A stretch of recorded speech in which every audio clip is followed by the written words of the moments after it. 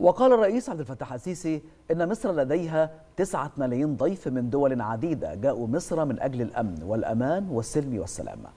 وأضاف الرئيس السيسي أنه بالنسبة لقطاع غزة فإنه يرى الخطورة هناك كبيرة جدا لأنها تعني تصفية القضية مشددا على ضرورة أن يظل الشعب الفلسطيني صامدا وموجودا على أرضه. إحنا بنتكلم وعندنا تسعة مليون من الضيوف أنا زي ما بقول من دول كتير قوي. جم هنا مصر عشان الأمن والأمان والسلم والسلام.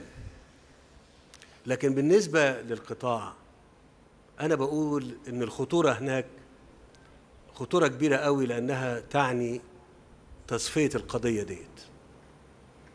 تصفية القضية ديت.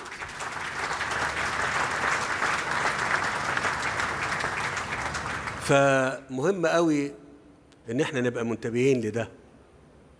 أنا قلت الأول الرقم والناس اللي موجودة واللي إحنا استقبلناهم.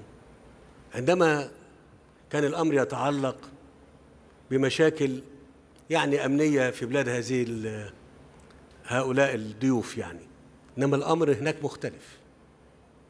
القضية دي قضية قضية القضايا وقضية العرب كلها ومهم إن شعبها يفضل صامد ومتواجد على أرضه.